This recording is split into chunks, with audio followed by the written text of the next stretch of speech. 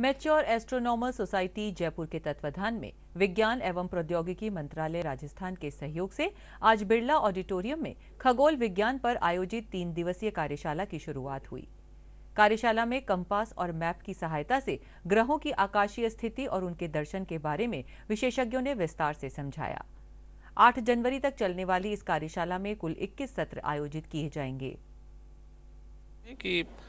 जहाँ आम जनों में खगोल शास्त्र के बारे में रुचि बढ़े, ख़ास तौर से जयपुर का एक, इसका एक ऐतिहासिक हमारे ऐतिह्य है और उस ऐतिहासिक ऐतिह्य को बरकरार रखें, उसको पुनर्जागृत करें, यही हमारे कामना है। जयपुर अपने विश्व मानचित्र में एक खगोल शास्त्र का अध्ययनशाला के रूप में दोबारा उभर कर आए, यही हम चाहते हैं।